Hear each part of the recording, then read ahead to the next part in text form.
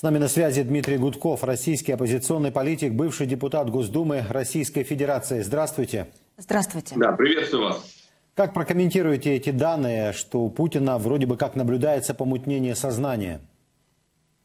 Да, мне кажется, давно уже наблюдается. То какой мы из этого сделаем вывод? Но вопрос в прямом смысле или в переносном у него? То есть то, что он делает, это да, но состояние его здоровья – ну, смотрите, я просто сколько вот помню э, все эти путинские годы, да, э, всегда шли разговоры по поводу его здоровья. Но особенно они усилились, начиная там с 2014 года. И тем не менее, вот он у нас мелькает в кадре, устраивает войны, репрессии, ничего не меняется. Э, просто, мне кажется, это такое характерное отличие любой диктатуры. Все всегда следят за здоровьем диктатора, потому что нет никаких других механизмов от него избавиться. Может Поэтому... быть, просто врачи хорошие? Поэтому это, эта тема всегда очень популярна, всегда раздувается и всегда притягивает слишком много внимания, я бы даже сказал, незаслуженно много.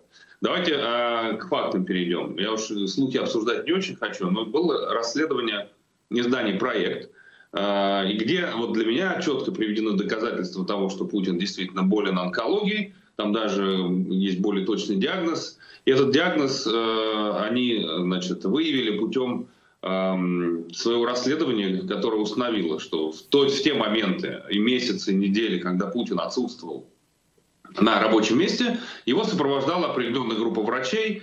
Вот эти врачи снимали номера в отелях, есть все платежки и так далее. И по специ... специализации этих врачей, по времени, по таймингу, в общем-то, похоже на то, что действительно они его сопровождали в моменты кризиса. Ну и, допустим, а, мы знаем, что у Путина онкология. Опять-таки, какое из этого мы делаем вывод? То, что человеку 70 лет, и он не очень здоров. Ну, в общем, таких людей много, которые не очень здоровы в 70 лет. Но, тем не менее, с этим диагнозом, может быть, он может долго еще прожить, просто не знаю.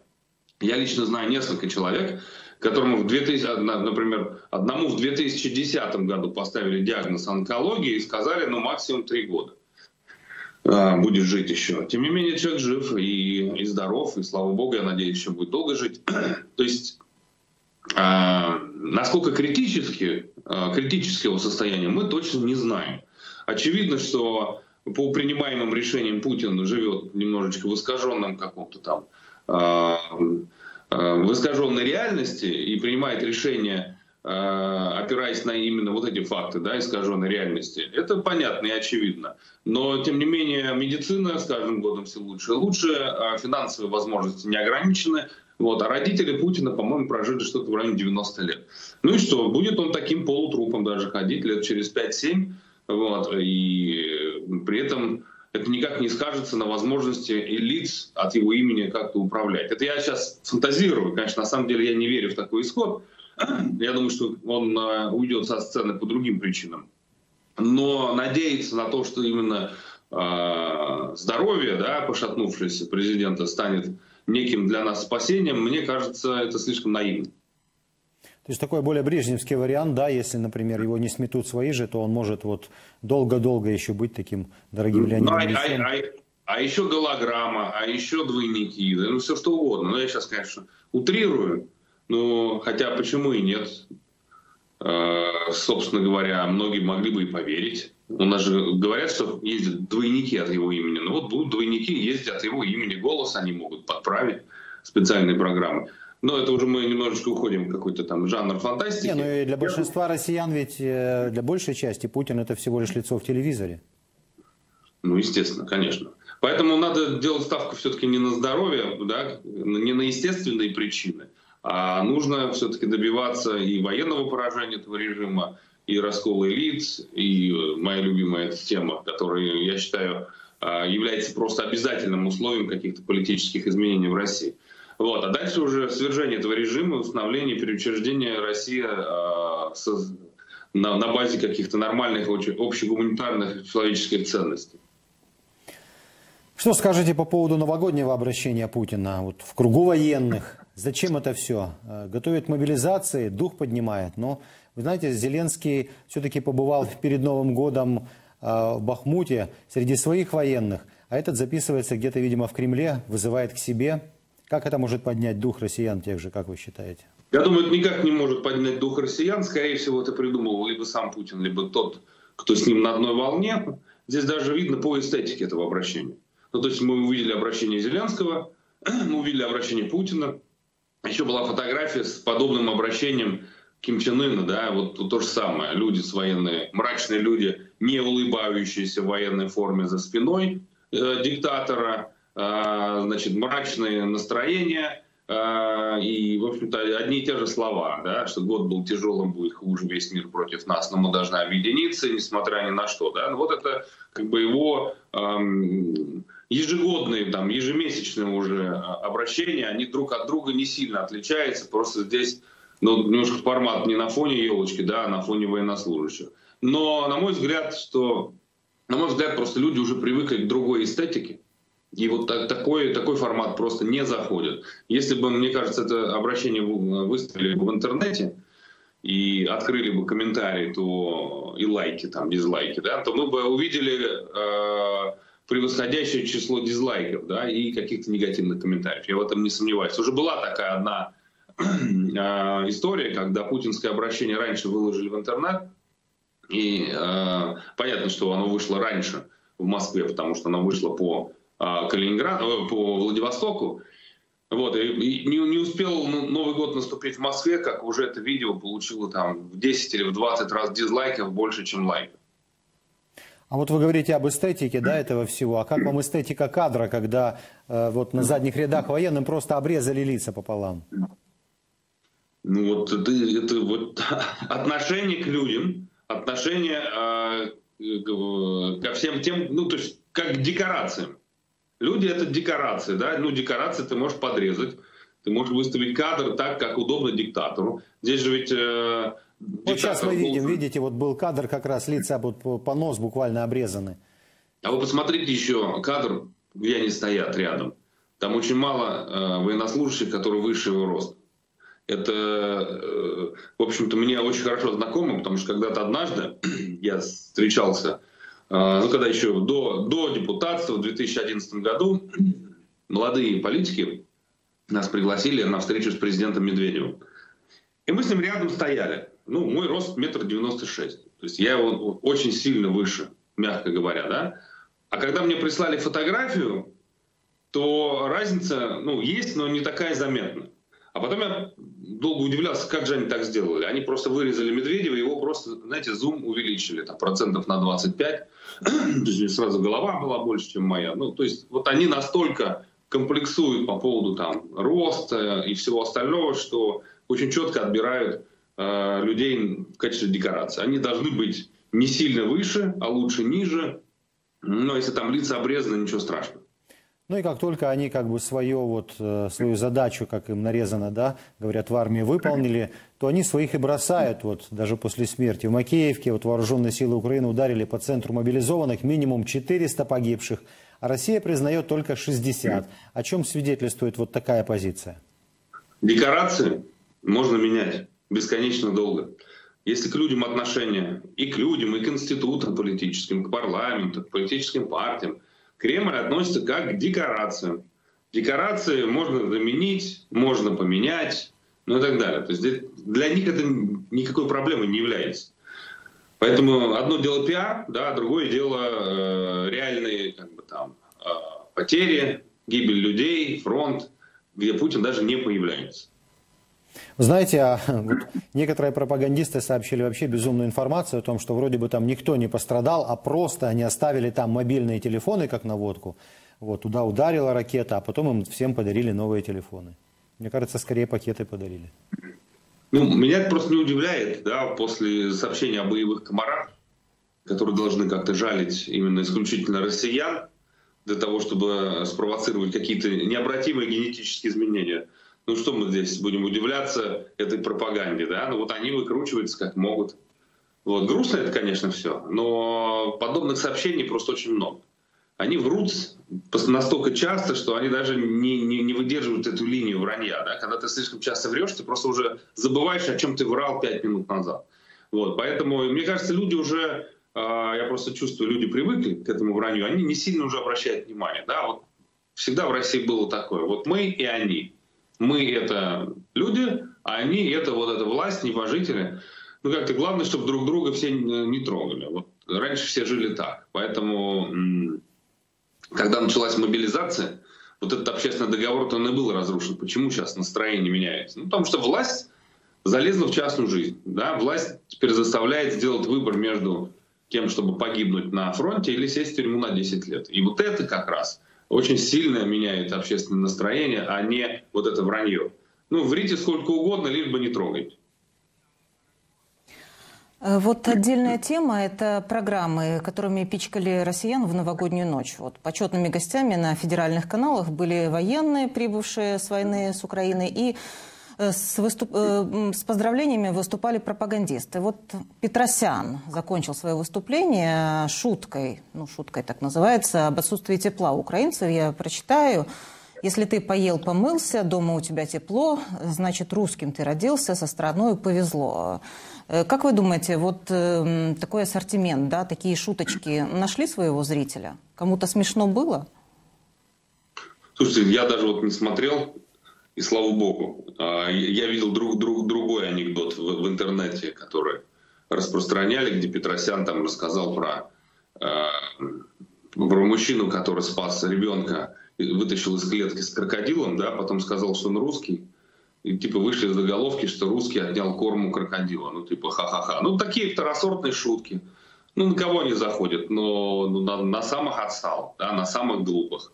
И э, вот, например, мне даже, видите, не попалось э, то, что вот меня сейчас спросили, это шутка. Значит, э, огромное количество людей, которые просто проигнорировали федеральные фирмы. Кто смотрел? Ну, в основном люди, у кого дефицит э, на развлечение, на entertainment, кому нечего делать, которые сидят и вот фоном включают этот телевизор. Ну, слушайте, Петросян шутил, когда мне было, я даже не помню, лет 7, наверное, 5, ну, может быть, 8 лет. Да, мне 43 скоро будет.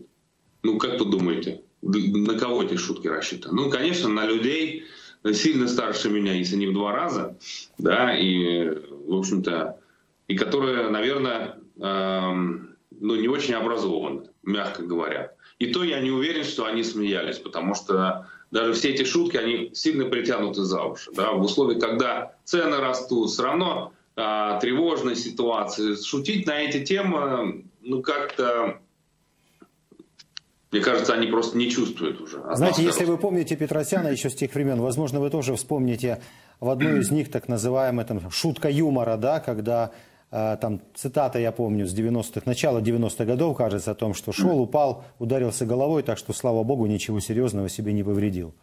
Возможно, ну, да, вы помните, был такой у него скетч, такая шутка юмора. Да, шесть выстрелов в голову, он человек выжил, да, почему пулю мозг не задела. Ну вот это вот, наверное, рассчитано на таких.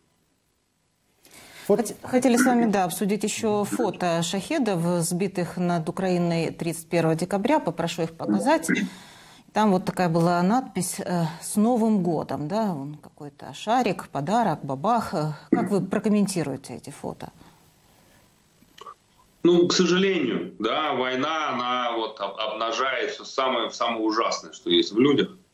И, ну, безусловно, в России есть какое-то число людей, которые там людьми-то и не назвать.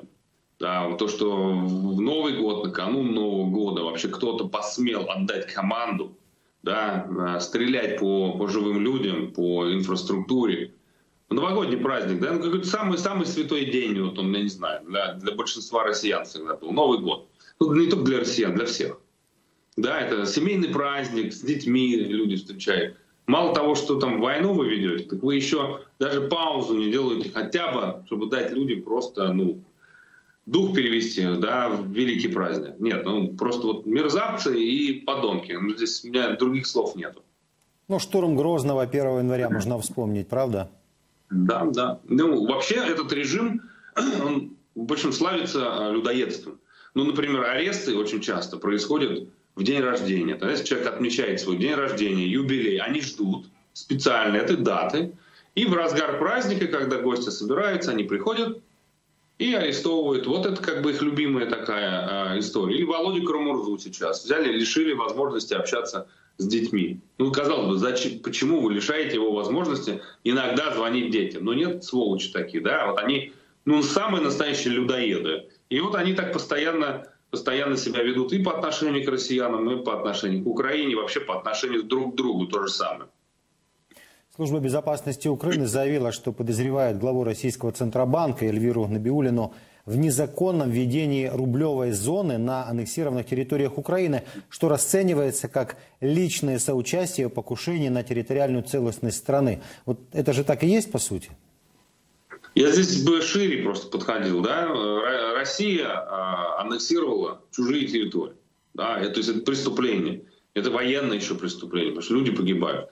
Поэтому есть Путин, да, человек, который несет персональную ответственность. Есть люди, которые сегодня работают на этот преступный режим. И Инна Биулина, и все остальные, да, кто сегодня обслуживает эту мафию, ну, по сути, являются соучастниками. И даже не имеет значения, а, какой будет повод конкретно ареста, там, введение рублевой, незаконной рублевой зоне на аннексированных территориях или еще что-либо. Да? Надо вспомнить, а, что было с Риббентропом, да, нашим, как говорят, Молотовым Риббентропом. Ну, э, это тоже тот же Лавров, грубо говоря. И все они являются соучастниками военных преступлений. Вот те, кто не ушел э, со своих министерских постов, кто остался, кто в условиях, когда э, ну, просто людей убивают ракетами, да, кто остался и обслуживает этот режим, по сути, помогает спасать экономику, чтобы эта экономика плодила ракеты, а этими ракетами убивали бы украинцев, ну, значит, они являются такими же военными преступниками. Как бы они себе в душе не объясняли свою миссию. Для 85% украинцев недопустимы никакие территориальные уступки России для скорейшего достижения мира. Вот об этом говорят результаты опроса, который провел Киевский международный институт социологии. Эм, как вы эти цифры прокомментируете? 85%. Ну, 85, мне кажется, даже не, не, не самая большая цифра в этих условиях. Собственно, когда вы меня и спрашивали об одном из эфиров, как я оцениваю перспективы каких-то мирных соглашений, я вам сразу сказал, что я не вижу вообще даже повода для какого-либо компромисса. Потому что общество, а, российское общество не простит Путину военного поражения, и Путин будет всегда настаивать на каком-то своем варианте. А этот вариант будет всегда неприемлем для Украины, которая не простит уже а, режиму путинскому и российскому государству эту войну, убийство мирных людей, уничтожение инфраструктуры, и поэтому а, даже если бы Зеленский, предположим, что, конечно, не будет, а, заключил бы, допустим, да, я сейчас фантазирую, а, мирное соглашение с Путиным, где учел бы какие-то условия Путина, я думаю, что завтра просто бы он перестал быть бы президентом. Вот это говорит как раз о силе духа украинского общества и готовности идти до конца. А ваши прогнозы, как будет развиваться ситуация в России, ну там в социальной сфере, в экономике, в политике? Будет ли расти уровень тревожности, например, среди россиян? И к чему это может привести? Конечно, будет расти уровень тревожности. А, очевидно, количество людей, которые будут выступать против продолжения войны, или как они ее называют, специальной военной операции, то есть количество таких людей будет увеличиваться однозначно. А, сторонники, количество сторонников мирных соглашений, ну, мира, прекращения войны будет увеличиваться. Вот. У Путина будет масса проблем, и я думаю, что какая-то плавная, а может быть и не плавная мобилизация может еще уронить его рейтинг. А, но только это пока до военного поражения не будет являться фактором, внутриполитическим фактором, влияющим на, на какие-то там решения. Потому что э, должен произойти раскол элит. Вот, опять-таки, я знаю, что, наверное, надоело уже с этим, но без раскола элит невозможно никакие изменения политические.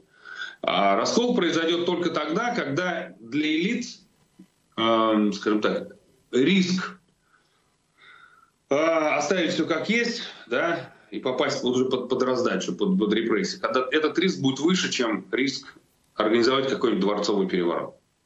А это произойдет тогда, когда э, на фоне военного поражения у Путина будет снижаться уровень поддержки внутри страны, он будет вынужден закручивать гайки, он будет вынужден э, уничтожать даже сильных людей внутри системы, претендующих или которые могли бы теоретически претендовать на э, то, чтобы возглавить Россию после Путина, вот он будет от них избавляться. И в какой-то момент элиты должны почувствовать и сами избавиться от Путина. Ну, в общем-то, так обычно дворцовые перевороты происходят.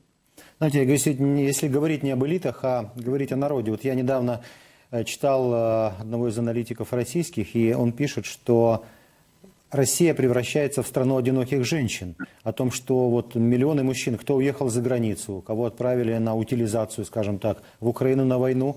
И вот возможно ли вот эти женские бунты, может быть, вот эта женская половина, вот она как-то ну, почувствует эту проблему, которая над ними нависла. Во-первых, это будет и огромная демографическая яма у них достаточно mm-hmm. скоро. Ну и вот, вот это одиночество женское, когда женщин намного больше, чем мужчин, а мужчины едут умирать постоянно. Вот это влияет как-то? Вот это и есть тревожность среди россиянок, может быть? Это, это явное преувеличение. Ну, сами считайте, 140 миллионов россиян. Ну, допустим, 2 миллиона, даже если уехал. 2 миллиона, да, в основном уезжали семьи. 300 тысяч ушли на фронт. Ну и какой это процент? Мизерный процент, который погода особо не делает. Вот. Но э, здесь я бы хотел бы уточнить, что э, в диктатурах и авторитарных режимах э, общество само по себе, граждане, ни на что не влияют. Когда они становятся э, фактором э, влияния? Во время раскола элит. И тогда э, какая-то часть элит, ну давайте элиты, я, чтобы вы не думали, что я их там хорошим словом называю, это просто политтехнологический термин. Значит, вот какая-то часть элит, понимая, что дальнейшее движение абсолютно бессмысленно и опасно для них, да, та часть элит, которая не хочет войны, которая хотела бы это все остановить, которая хотела бы восстановить отношения с западными странами, переходит, грубо говоря, на другую сторону и использует вот эти общественные настроения, поддерживает для того, чтобы вместе изменить баланс сил. Это э, может произойти, но это должно идти параллельно. Да? Отдельно не может быть раскола элит успешного, да? и не может быть отдельно э, народных выступлений без раскола элит успешных, потому что они тогда элементарно разгоняются. Если э, Путин может вести войну на протяжении года да, против украинской армии, хорошо подготовленной, которую поддерживает э, западным, э, Запад поддерживает оружием, финансами и так далее. А внутри 400 тысяч сотрудников Росгвардии подавит любой бунт. Есть, чтобы этот бунт трансформировался в какое-то действие, э, в какой-то результат, это, это действие должно происходить на фоне раскола элит. Вот и все. А этот раскол может случиться только вследствие военного поражения. Поэтому сейчас так выжидательная какая-то позиция. Ну, знаете, один из тоже российских юмористов, я помню еще в 90-х, а, говорил, что такое революционная ситуация. Когда-то уже приводил эту фразу, вспомнил. Это когда верхи уже не могут есть по-старому, а низам уже нечего есть по-новому. Согласны? Ну, низам а, есть, что есть, на самом деле. То есть э, сейчас надо понимать, вот это, первые как бы, санкции, они ударили в основном по среднему классу в большей степени. Под людям, которые привыкли э, значит, э, смотреть Netflix, ходить в Икею, значит, путешествовать по миру, ну и так далее. Ну, по этим людям ударили санкции. А большинство россиян ну, питались с огорода, да, жили-то не очень богато. Для них практически ничего не изменилось. Более того, бюджетникам Путин продолжает платить деньги. Вот чтобы по ним ударили санкции, должно время пройти. И причем какое-то продолжительное время, потому что денег много, нефти много. Посмотрите на экономические показатели там. Продажи нефти выросли, цены на нефть э, вообще сделали всю погоду. Они до сих пор выше, чем то, что заложено в бюджете. Да, безусловно, на, на войну тратится очень много денег, но ракеты, там, танки, самолеты — это то, что производилось на протяжении десятилетий до. То есть это не из текущего бюджета идет. Это старые запасы. Поэтому в этом смысле экономически э, Путин может еще на протяжении там, как, каких, даже лет, да, нескольких лет вести войну. Так что... То есть короткий вопрос вот с коротким ответом, если можно. А какая вот одна самая глобальная санкция нужна для того, чтобы вот система обрушилась? Слушайте, надо вывести деньги из экономики. И нужно просто открыть все, что можно, чтобы люди выводили деньги, ну, например, а, продал человек квартиру, а деньги не может вывести. Любой доллар, который остался в России, это доллар, который Путин будет тратить на войну. Любой доллар, который человек, неважно кто, хоть с буквой Z, вывел из страны, этот доллар больше не будет работать на войну. Поэтому нужно сделать все, чтобы э, была, был, э, была утечка мозгов, чтобы как можно больше людей уехало из страны спокойно, свободно, и тогда некому будет эти просто ракеты производить. И как можно больше денег, чтобы из страны ушло. И тогда э, у экономики не будет ресурсов для того, чтобы перевести все на военный рельс. Ну, это вот самое как бы вот простое. Но, к сожалению, все сделано было наоборот. Дмитрий, спасибо вам за этот интересный разговор. Будем внимательно следить за ситуацией, за тем, как и что происходит в России. Ну и ждем новых побед в ВСУ. Конечно, это, вот, наверное, самый лучший, лучше всех санкций, лучше всего показывает, как должны Поддержка развиваться события. однозначно и очевидная. Это помимо прочего. Спасибо вам большое. Дмитрий Гудков, российский оппозиционный политик, бывший депутат Госдумы Российской Федерации, был в нашем эфире. Спасибо.